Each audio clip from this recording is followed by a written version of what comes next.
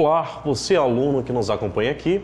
Sou o professor Douglas, professor de Física, e hoje vamos dar continuidade ao nosso conteúdo de movimento retilíneo uniforme. Lembrando que toda vez que eu falo em movimento retilíneo uniforme, estou me referindo ao movimento em que a velocidade ela não se altera, ou seja, essa velocidade ela permanece constante. Na última aula a gente verificou que quando se trata de velocidade média, é calculada através da medição da variação de espaço dividido pela variação de tempo. Essa variação de espaço, ela refere-se, no caso, ao deslocamento sofrido por um corpo. Então, por exemplo, se esse corpo estava numa posição inicial em determinado local, esse corpo, ao se deslocar para um outro local, ele sofreu uma variação de espaço.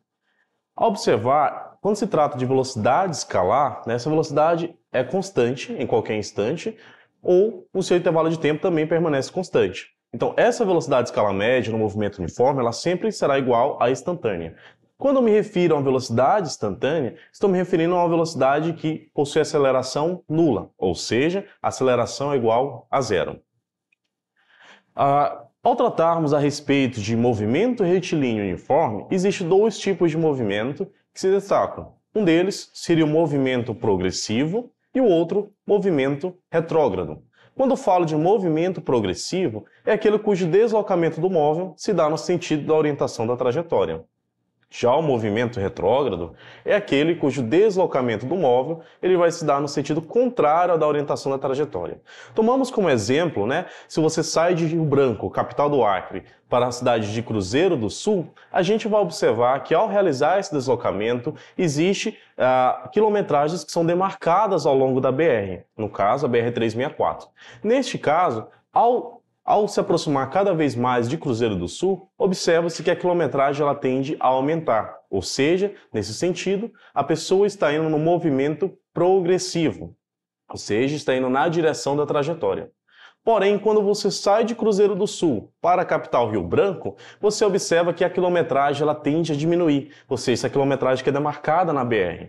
A gente observa que isso ah, você está vindo contra a trajetória, ou seja, e isso se chama movimento retrógrado, ou no caso também podemos chamar de movimento regressivo, certo? Então, dando continuidade, a gente observa que ao relatar esses movimentos, o movimento progressivo, ele sempre vai ter um valor positivo. Já o movimento retrógrado, ele sempre vai ter um valor negativo. Então, toda vez que eu falar de velocidade com movimento progressivo, lembrar do sinal de mais, sinal de positivo toda vez que eu falar de movimento retrógrado ou regressivo, pensar no sinal de menos, tá? No caso, um sinal negativo.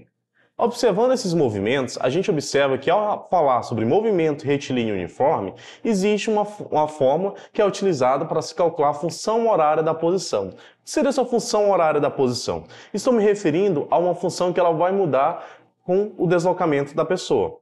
Ou seja, essa função horária que representa esse movimento dado, a gente vai chamar de sorvete. Para fixar, o S é igual a S0 mais V vezes ΔT.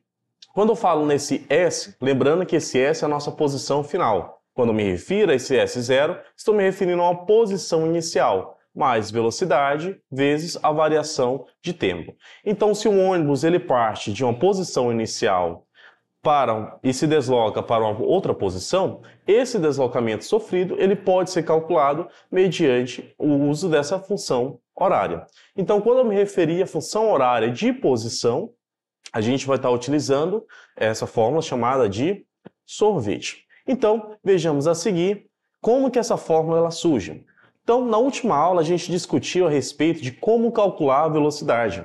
Então, quando eu me refiro à velocidade, ela é sempre calculada pela variação de espaço dividido pela variação de tempo. E, só para a gente relembrar, quando eu falo em variação de espaço, estou me referindo a uma posição final menos inicial. E quando eu falo em variação de tempo, estou me referindo a um tempo final menos um tempo inicial.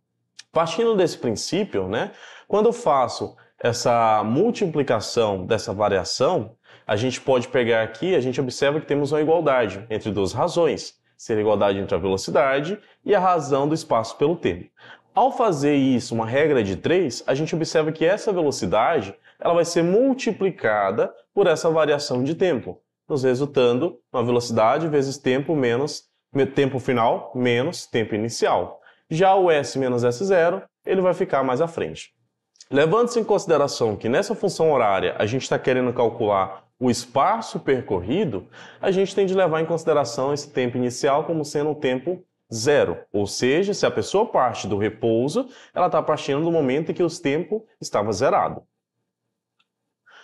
Levando isso em consideração, pensando que temos espaço final menos espaço inicial e eu quero calcular a função horária desse deslocamento final, eu vou pegar esse S0, que está negativo, e passo para o outro lado da igualdade, ficando positivo. Chegando assim na fórmula ao qual conhecemos como sorvete. Certo? Vejamos agora uma questão que trata a respeito dessa fórmula utilizada como sorvete. Agora, no seu livro, lá do Farias Brito, né, do Aprova Enem Ciências da Natureza, primeiro ano, vejamos a questão que trata a respeito deste assunto. Porém, antes de iniciarmos a questão, eu peço que você, aluno, pegue o seu livro, tente resolver é, sozinho e, em seguida, venha comigo com a correção para que a gente possa fazer essa resolução juntos, ok? Então, o... aqui vamos tratar da página 78, na questão 18. O dardo ele é um objeto em forma de lança, feito de metal, fibra de vidro ou fibra de carbono. O tamanho e peso dos dados variam do homem para a mulher. O atleta ele corre para tomar impulso e lança o dardo numa pista de lançamento com 34,9 metros de comprimento e 4 metros de largura. O dardo costuma sair das mãos do atleta com a velocidade de 100 km por hora Após o voo, o dardo aterra numa zona relvada que costuma ocupar a zona central dos estádios de atletismo. A marca obtida pelo atleta é medida pelos oficiais, desde a zona de lançamento até o primeiro ponto onde o dardo tocou o chão. Pensando o seguinte, se o recorde mundial de lançamento de dardos atual é o de Jan Zelensky, da República Tcheca, com a marca de 98,48 metros, podemos dessa forma estimar que o tempo de voo do dardo foi de aproximadamente. Daí, nessa questão, ele pede para adotar um ângulo de lançamento de 45 graus. Ah, e ele dá os valores de seno de 45 graus, cosseno de 45 graus e tangente de 45 graus. É muito importante que para resolver essa questão a gente possa ter uma noção de como que é calculado seno, cosseno e tangente. Uma forma de você fixar como que é calculado seno, cosseno e tangente em um triângulo retângulo, por exemplo, toma-se como ideia o socator. O que seria o socator? O seno, cateto oposto sobre hipotenusa, cosseno, cateto adjacente sobre hipotenusa e a tangente, cateto oposto sobre cateto adjacente.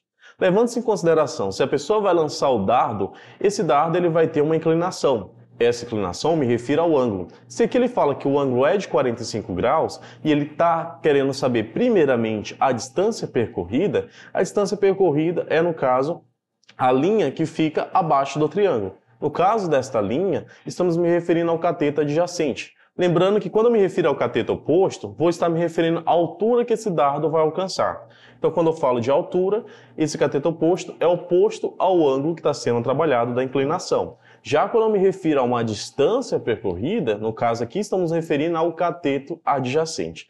Pensando nisso, se eu estou me referindo ao cateto adjacente e eu quero calcular o ângulo, neste caso, aqui a gente vai utilizar o cosseno. Pensando nesse valor de cosseno de 45 graus, a gente pode calcular ele como sendo. Ah, vejamos o seguinte, quando falamos a respeito da fórmula que é utilizada o sorvete, esse sorvete, ou seja, o espaço final e o espaço inicial, a gente também pode utilizar outras variáveis para representar esse S. No caso aqui dessa questão, estamos utilizando a letra V. Então, estou me, referindo a um Vx, que é, me refiro à velocidade, e um V0, velocidade inicial, vezes o cosseno de θ. Esse cosseno de θ, que é o cosseno do ângulo, vamos utilizar aqui o ângulo de 45 graus, ele está se referindo à velocidade pelo tempo. Então, como a gente ainda não sabe o valor da velocidade, vamos calcular aqui. Para se encontrar essa velocidade final com relação ao dardo que é lançado, temos que ter a noção de que o espaço percorrido pelo dardo seria de aproximadamente 100 km por hora. E isso o que acabamos de ver no enunciado. e esse valor ele vai ser dividido por 3,6. Lembra quando a gente mencionou a respeito da conversão de quilômetros por hora para metros por segundo? Então, nesse caso da questão, a gente observa que temos um valor que é dado em quilômetros por hora, mas as alternativas elas pedem esse valor em segundos. Então, se precisamos do tempo em segundo, temos que calcular essa velocidade primeiro realizando essa conversão. Se eu quero converter quilômetros por hora para metros por segundo, eu vou dividir por 3,6. Fazendo essa divisão, vamos obter um valor de 27,7 metros por segundo. Como o cosseno de 45 graus já está sendo dado o valor na questão, que é 0,71, façamos agora essa multiplicação para achar o valor da velocidade final. Realizando essa multiplicação, teremos um valor total de 19,7 metros por segundo. Agora temos o valor da velocidade. O que precisamos agora? Se ele quer o tempo, e esse tempo a gente pode usar aqui a nossa fórmula da função horária, a fórmula do sorvete, lembrando que essa fórmula do sorvete ela não surge do nada, ela surge da nossa fórmula de velocidade média. Então, pensando nessa fórmula de velocidade média, isolando o tempo, já que é o que queremos encontrar, a gente vai pegar essa variação de espaço, que é o espaço final menos o espaço inicial, e dividir pela velocidade que acabamos de encontrar. Pensando nessa perspectiva, acabamos de ver que o recorde mundial ele foi dado numa distância de 98,48 metros. Esse é o espaço percorrido por esse dardo. E a velocidade que acabamos de encontrar é 19,7 metros por segundo. Se a gente quer encontrar esse tempo, basta efetuar essa divisão e teremos como resposta o resultado de 4,99 segundos. Percebe que o, metro, o m com o m, que representa metro, ele foi cancelado, resultando apenas em s, que é de segundos. Então, nosso tempo final, 4,99 segundos, equivale aqui a nosso gabarito, letra E. Observe que ao resolver essa questão, tomando como referência as alternativas que foram dadas para a resolução da questão, observe que os valores eles se distanciam um pouco. Então, observa-se que na letra E ele tem um valor de 4,99. O valor mais baixo seria 2,78. Percebe que quando você resolve questões do Enem, a gente observa que muitos casos desses você pode usar aqui valores aproximados. Para a resolução dessa questão, a gente usou valores exatos, né? divisões de valores exatos. Nesse caso, observa-se que eu usei, para além de uma casa, duas casas decimais. Você usando apenas uma casa decimal, você chegaria a um valor aproximado da resposta resultando aí em algo de um cálculo mais rápido e mais preciso. Certo? E, para finalizar, essas são as referências da nossa aula, coletânea do Aprova Enem primeira edição, editora moderna, 2015. Então, obrigado pela atenção de vocês nessa nossa aula de hoje. Espero vocês na nossa próxima aula e não esqueçam, resolva o máximo de questões possível para que dessa forma vocês possam estar familiarizando com as questões do Enem. Então, Ficamos por aqui hoje, até a próxima aula.